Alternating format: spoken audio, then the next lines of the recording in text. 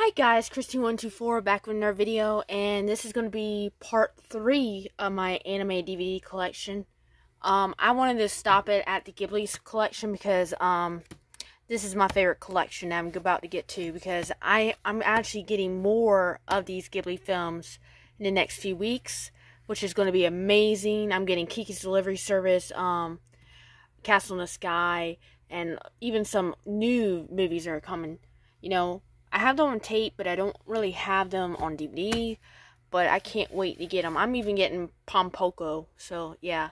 But I can't wait to wait to get them. But anyway, right now I'm just gonna show you what I got for now. For now, then you never know. I might do a unboxing or re-show you all my collection. You know, again. So anyway, let's get started. So what I was about to show you, and or I showed you in the third, second part, is Spirit Away really good film. This is a film that everybody should really start out with. That, either that or Howl's Moving Castle. Just being real. They're both really good. But most people probably seen um, Spirited Away first. Okay, next up is My Neighbor Totoro. A film that is just not for me. And if I was younger, I probably would have enjoyed it a lot more. But I watched it and I just, eh, not my fave. I probably would have enjoyed it a lot more if I was six or seven. So yeah, not a film for me. Um, Whisper of the Heart, a film that I was kind of really disappointed with. It was more of a slice of life type film. I, it's funny how they kind of clickbait you on the cover and everything, front cover and the back, but to me, um, I just wasn't a big fan. I hated how it was just a slice of life movie. It wasn't really something with adventure in there that much. So yeah, I didn't really like it too much, but I did like On Country Road Song. That was a really good one. I loved that. Um, but this is what I think Whisper of Heart should have been. That is the cat's the cat returns. This is basically like a sequel to Whisper of the Heart, but it's something I wish the Whisper, Whisper of the Heart was. Um, you know, there could be some things that could have been better in this film, but other than that, I liked how there was a lot more adventure and there was a lot more action it was just a lot more interesting. Whisper of Heart was just this cliche type of girl life, slice, slice of life type stuff. So yeah, I didn't really like it too much. Sadly, a lot of these Ghibli films are are slice of life. I like more action, like Spirit Away and Howl's Moving Castle and The Cat Returns, and especially Princess Mononoke, which is one of my favorite Ghibli films of all time.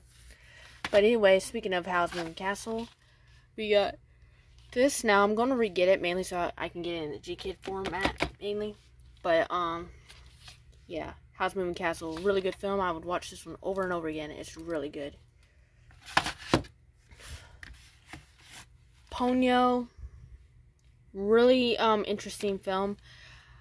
I think the more I think about the film, the more I like it. But when I first watched it, I wasn't too big of a fan of it. But I think if I watched it again, I probably would enjoy it more. It was pretty decent, you know, Ponyo. It's kind of like a little bit acceptment of The Little Mermaid. That's basically what it's like. Okay, next up we got Princess Mononoke. Like I said, one of my absolute favorite anime films of all time, in general, to be honest. Which is amazing. Now, there is another film that, if you like Princess Mononoke, you're going to love the other one. But I will show you that um, soon as, probably like, I'll show you that when we get to it. It's not in the G-Kid format, sadly. Okay, um, Porco Rosso. This is a film I thought there was going to be a lot more action, but like I said, it did like Whisper of Heart was. It turned into a slice of life. You uh, like you think it's going to be a lot more serious and have a lot more action in it, but it tend it tended to turn into like this old type of early 1900s slice of life. So, yeah, not a big fan of that. Then you got The Wind Rises. Probably, I'm sorry guys, now this is going to kill you guys. I do not like The Wind Rises. When I watched it, I thought it was boring and generic. I just wasn't a big fan of it.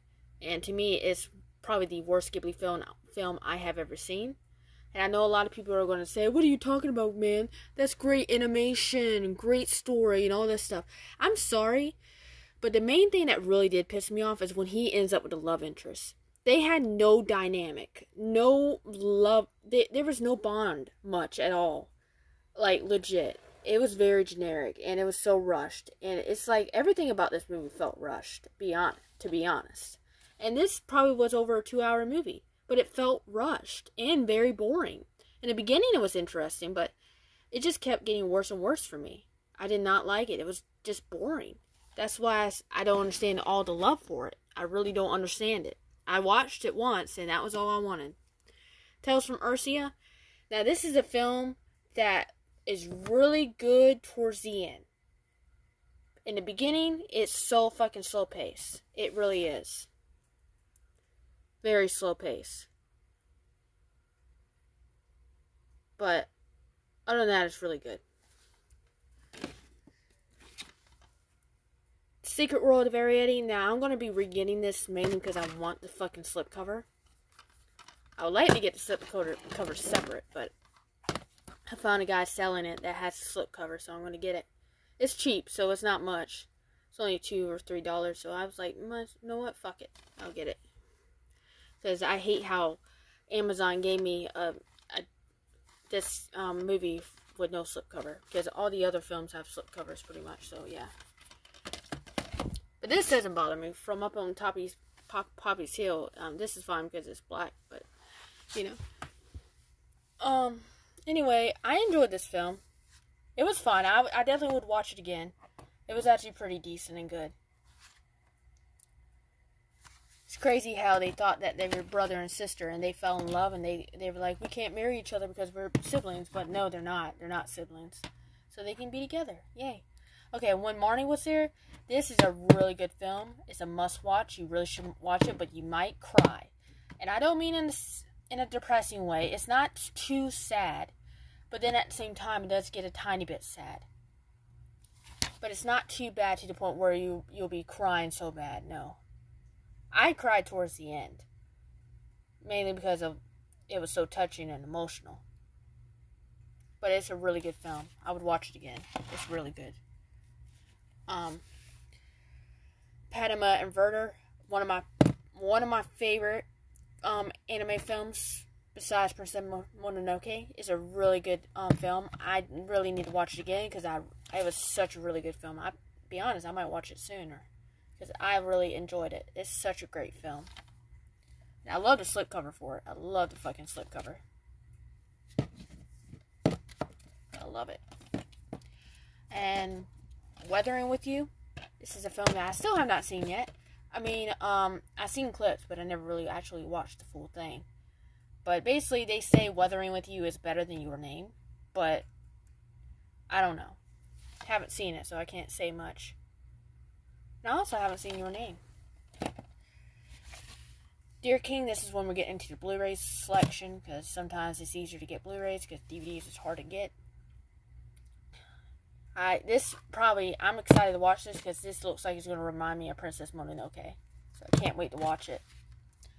Then Belle, which I got this week, and I can't wait to fucking watch it. Looks really good. I need to watch it soon. So yeah, probably need to watch it really soon. Okay, this is the movie I was talking about. That if you love Princess Mononoke, you'll love this film, and that is Nausicaä: The Valley of the Wind.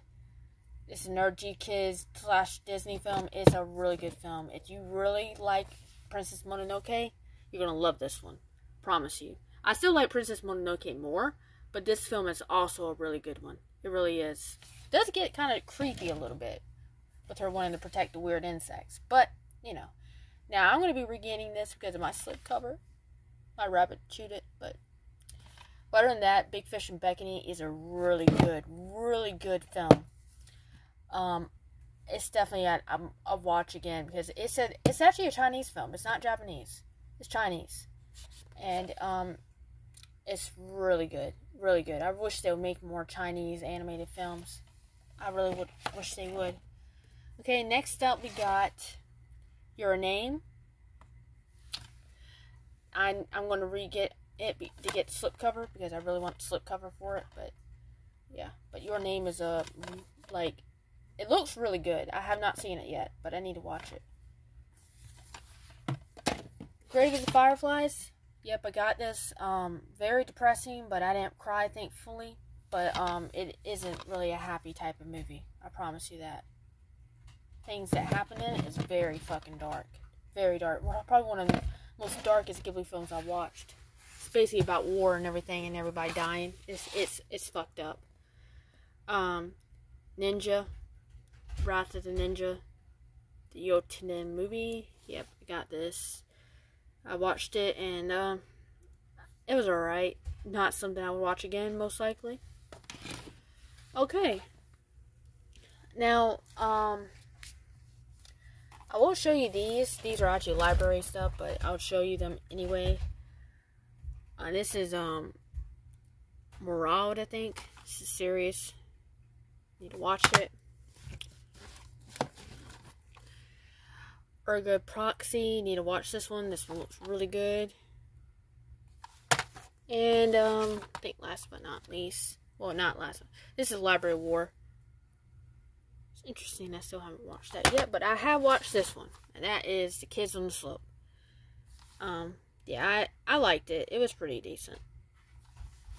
Okay, but guys, okay, these are not really animes, but I'm gonna go through them anyway. Shit, sorry about that, guys. So the first one we got is my childhood. This is all my childhood right here. All these movies are my childhood. Even Thundercats is my childhood. So, um, let's get to it. Danny Phantom, the complete series. Not my first Nickelodeon show I watched when I was a kid. To be honest, I watched this later in my life, probably when I was around 12 or so. But when I was like, um, I think 7 or 6 or so, um, I watched SpongeBob right here, but I'll show you the ones that, okay, My Life Teenage Robot, same thing with Danny Phantom. I didn't really get to it get into it until my later years when I was a kid. But I really enjoyed my life. Back then, I was the type of girl that didn't want to watch anything girly, and I thought my life was kind of girly, but the more I watched it, the more I noticed it's not really that girly. In my opinion, that is. Season 2. And then, um, season 3.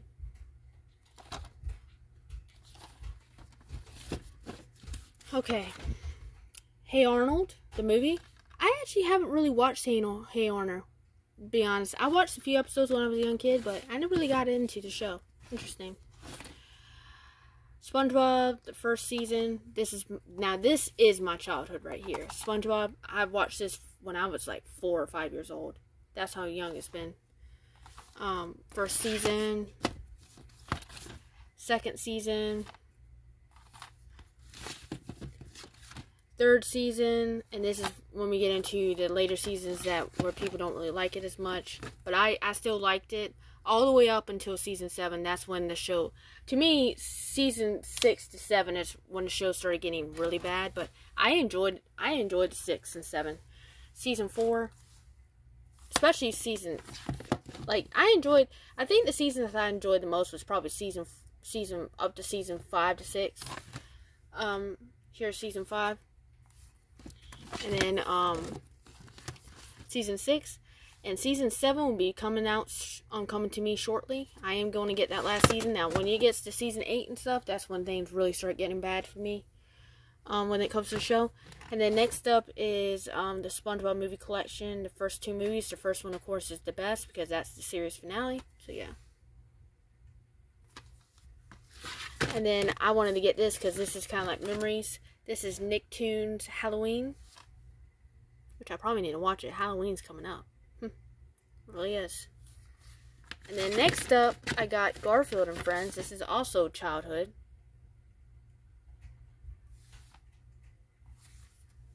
And then one of my favorite 80s shows that my parents got me into because they grew up in the 80s, so yeah. And that is um, Thundercats, the complete series. Yeah, they definitely got me into it. And Thundercats, um, the original was really good.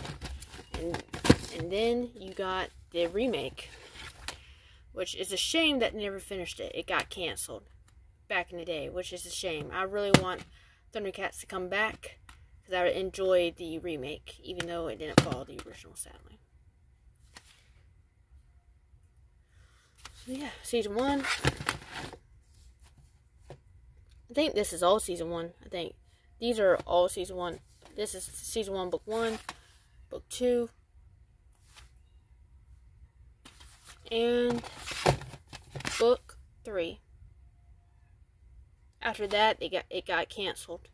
Because mainly because they were mainly working on toys. So yeah.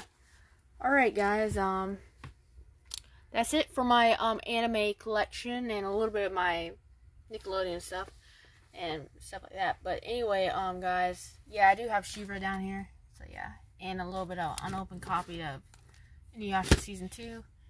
And yeah. Just trying to show you. Yep. There you go. And then here's Frozen. I made a copy of, even though it's not originally on tape.